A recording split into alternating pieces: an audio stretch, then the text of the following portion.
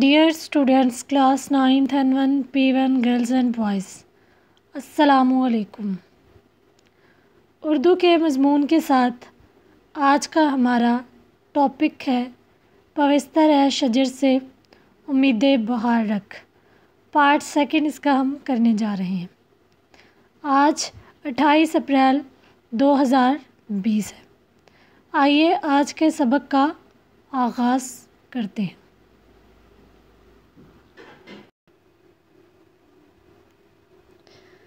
بچوں، کل ہم نے ڈاکٹر محمد اقبال کے بارے میں تعارف پڑھا تھا ان کا، اور ہم نے ان کی نظم پوستر شجر سے امید بہار رکھ تشریح کی تھی تین اشعار کی۔ بچوں، جب آپ لوگوں نے شاعر کا تعارف پڑھنا ہے تو اسے بہت اچھے طریقے سے یاد کرنا ہے، اس میں سے ایم سی کیوز بھی آ سکتے ہیں۔ اور جب آپ لوگوں نے کوئی نظم پڑھنی ہے تو اس کے اشعار کو بھی بہت اچھی طرح سے یاد کرنا ہے، اس میں بھی ایم سی کیوز آ سکتے ہیں۔ یعنی ایکسرسائز کے علاوہ بھی آپ کو ایم سی کیوز اور شارٹ کویشچن کہیں سے بھی آ سکتے ہیں۔ تو آپ لوگوں نے اس کو دھیان سے پڑھنا ہے۔ تو آج ہم اگلے تین اشعار کی تشریح کریں گے۔ ڈیئر اسٹوڈینٹس ہم پیج نمبر ایک سو بیس کھولیں گے۔ ٹھیک ہے؟ اس میں ہم نے پہلے تین اشعار کی تشریح کر لی تھی۔ نظم کا عنوان ہے، پوستر ہے، شجر سے، امید بہار رکھ۔ اور شاعر کا نام ہے علامہ محمد اقبال، ٹھیک ہے؟ تو آج ہم چوتھے شعر سے شروع کریں گے اور ہم اس کی آگے تشریح کریں گے۔ تو بچوں، چوتھا شعر ہے،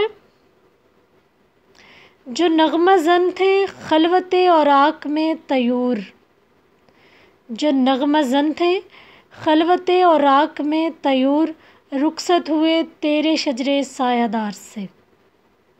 نغمہ زن گیت گانے والے۔ خلوت تنہائی۔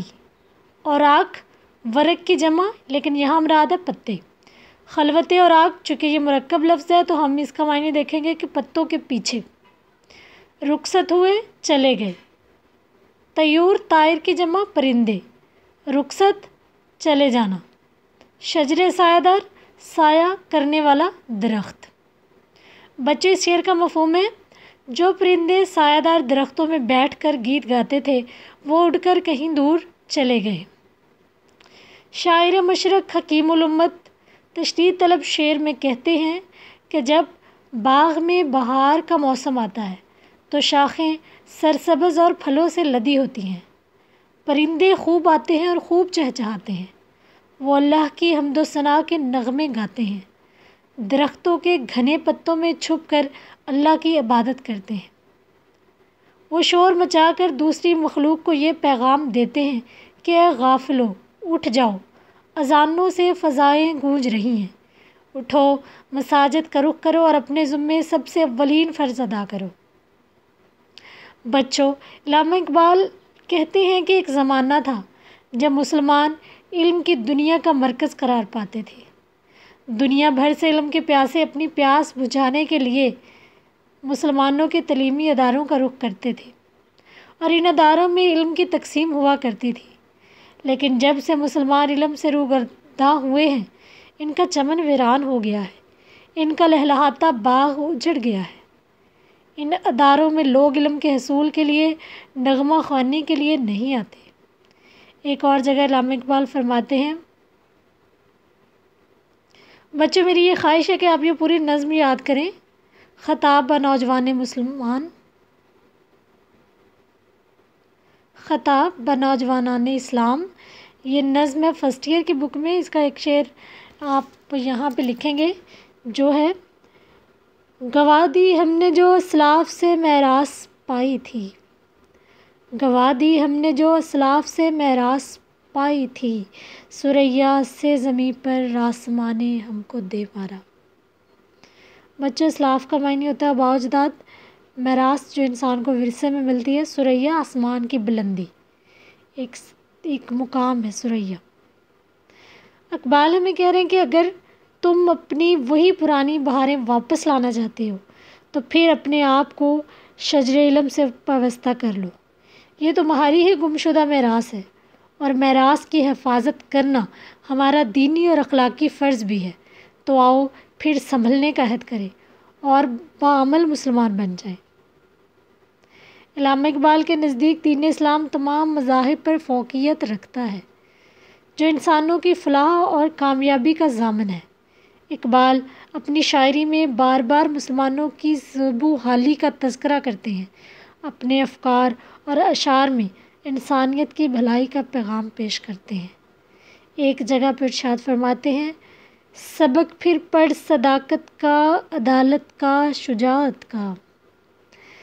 سبق پھر پڑھ صداقت کا، عدالت کا، شجاعت کا۔ لیا جائے گا کام تجھ سے دنیا کی امامت کا۔ لیا جائے گا تجھ سے کام دنیا کی امامت کا۔ بچوں، شاعر کہتے ہیں، وہ پرندے جو پھولوں کے ساتھ پھلوں اور پھولوں کے ساتھ بیٹھ کر راگ لاپتے تھے۔ مسلمانوں کے سایہ دار درخت سے رخصت ہو گئے ہیں۔ دراصل، اقبال یہ کہنا چاہ رہے ہیں کہ مسلمان جب زندگی کے اعلیٰ قدروں کا ساتھ دینے میں ناکام رہے۔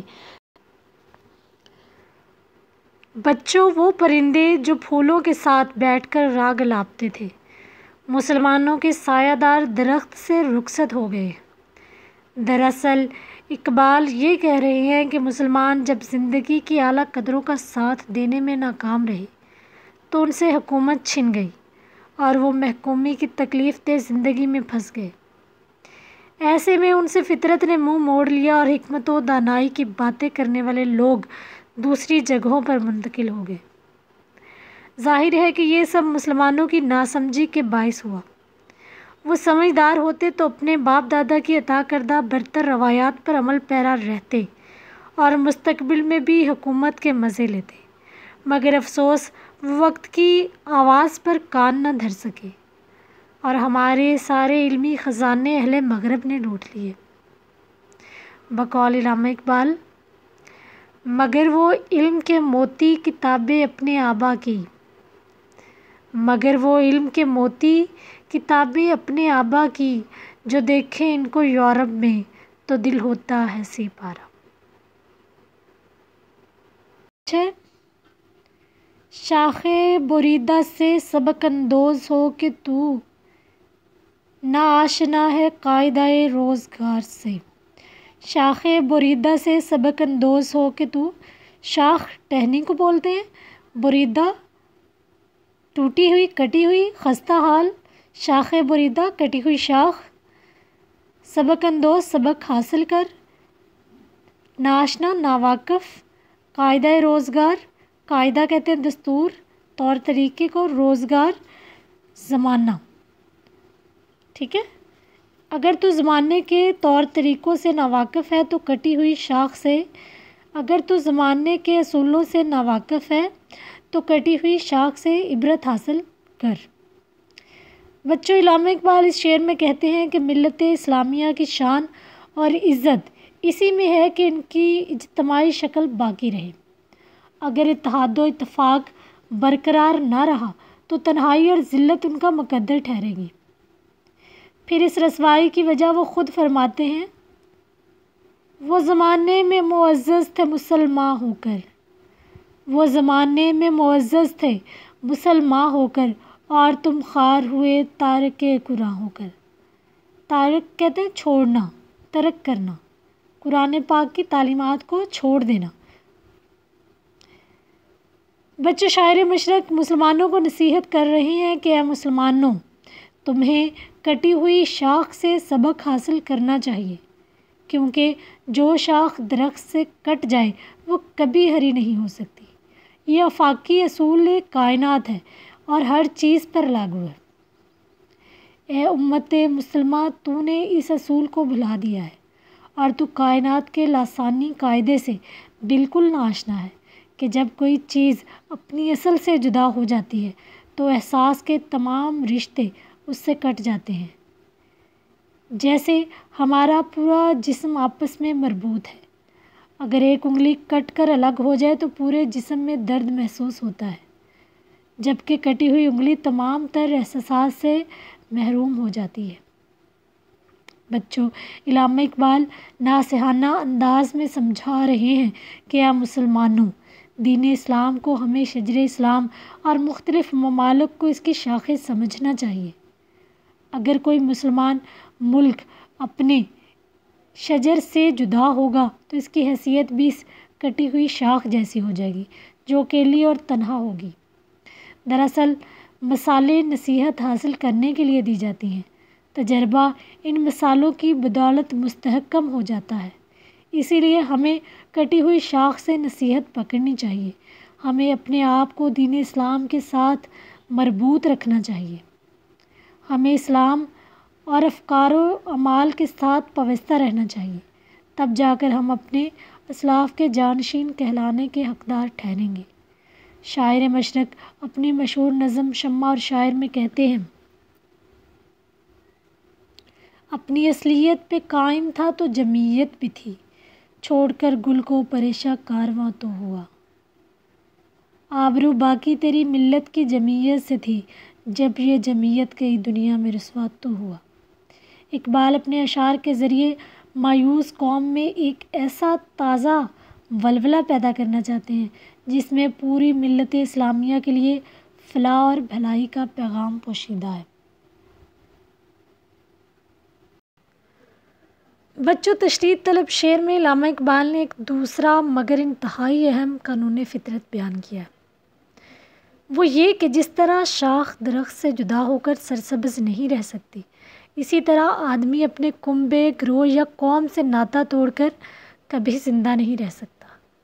اب جو شخص اس دستور حیات سے بغاوت کرے گا، خود ہی فطرت کے انتقام میں آ جائے گا۔ وہ تڑپ کر مرے یا پھر آنن فانن موت کے منہ میں چلا جائے۔ بس مسلمانوں کو اس حقیقت کو سمجھنا چاہیے کہ اجتماعیت کا ساتھ نہ چھوڑے، ورنہ دنیا میں ان کی حیثیت خشک ٹہنی سے زیادہ نہیں ہوگی۔ دراصل، اسلام اجتماعیت کا مذہب ہے۔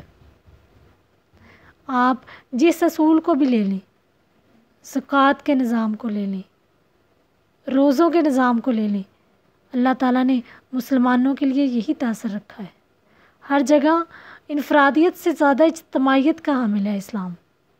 نظام زکوٰۃ پر غور کیجیے کہ یہ کس طرح امیروں کی جائیداد میں فقیروں کو شامل کرتا ہے۔ صلہ رحمی کی طرف دیکھیے کہ یہ بھائی کو بھائی سے جدا نہیں ہونے دیتا۔ مطلب یہ کہ کسی بھی سطح پر انسان کو تنہا نہیں چھوڑتا۔ اسلام کے یہی اصول ہیں کہ جن کی فطرت سے اسے دین فطرت، جس کی وجہ سے انہیں دین فطرت کہا گیا ہے۔ اسلام پر غور کریں۔ یہ کس طرح امیروں کی جائیداد میں فقیروں کو شامل کرتا ہے؟ صلہ رحمی کی طرف دیکھیے کہ یہ بھائی کو بھائی سے جدا نہیں ہونے دیتا۔ مطلب یہ کہ کسی بھی سطح پر انسان کو تنہا نہیں چھوڑتا۔ اسلام کے یہی اصول ہیں جن کی وجہ سے اسے دین فطرت کہا گیا ہے۔ اقبال کا یہی موقف ہے کہ مسلمان اپنے مذہب اور فطرت کے تقاضوں کو سمجھ کر آپس میں متحد ہو جائے، کہ تباہ کن حالات سے باہر نکلنے کے لیے یہی ایک حربہ ہے۔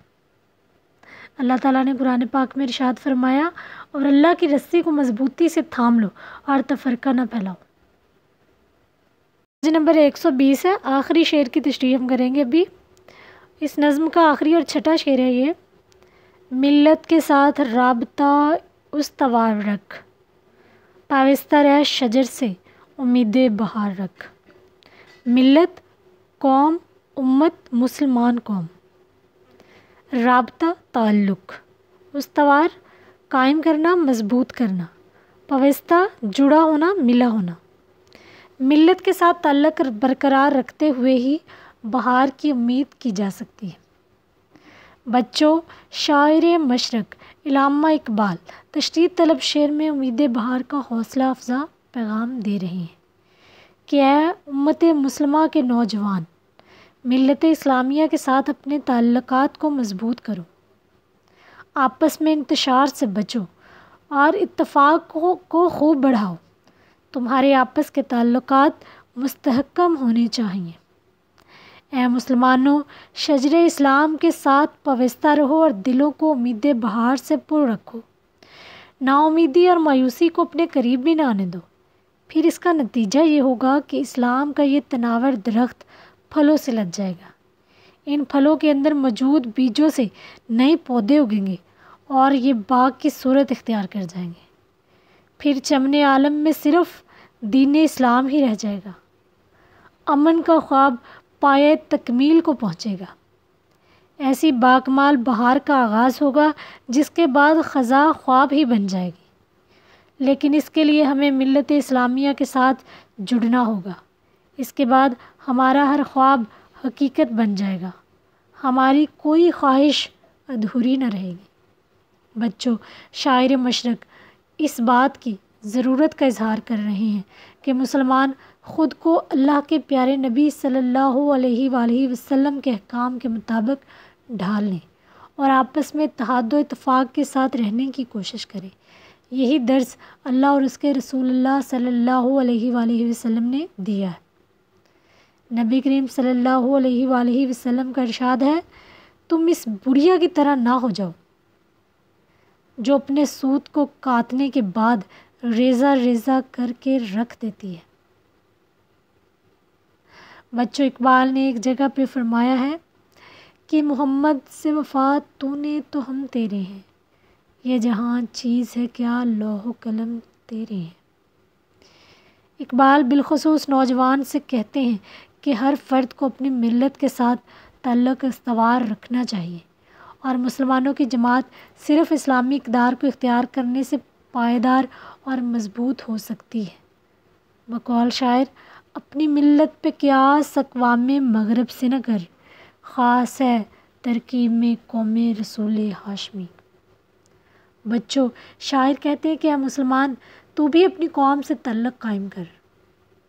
یہی طریقہ ہے جس کے ذریعے تو کامیاب ہو سکتا ہے۔ اسے یوں سمجھ کر درخت سے منسلک رہنے والی شاخ ایک نہ ایک دن سرسبز ہو جاتی ہے۔ تشریح طلب شعر میں اقبال نے حالات و واقعات سے مایوس مسلمانوں کے لیے علاج تجویز کیا ہے۔ ان کا کہنا ہے کہ ملت کے ساتھ وابستہ ہونے کا یہ مطلب نہیں کہ آدمی ابتر حالات سے فوری طور پر باہر نکل آئے گا۔ حقیقت یہ ہے کہ پریشانیاں یہاں بھی آئیں گی۔ مخالف آندھیاں یہاں بھی تنگ کریں گی۔ فرق صرف یہ ہے کہ ملت کے ساتھ وابستگی انسان کو مضبوط سہارا فراہم کر دے گی۔ وہ اتنا مضبوط ہو جائے گا کہ بے محابہ آندھیوں بھی اس کے قدم اکھاڑنے میں ناکام رہیں گی۔ بس مسلمان کو چاہیے کہ ملت کے ساتھ پوستہ رہے، یوں وہ نگفتہ با حالات سے محفوظ رہے گا اور پھر ایک دن ترقی کرتے ہوئے یقینی طور پر بلند تر مقام پر فائز ہو جائے گا۔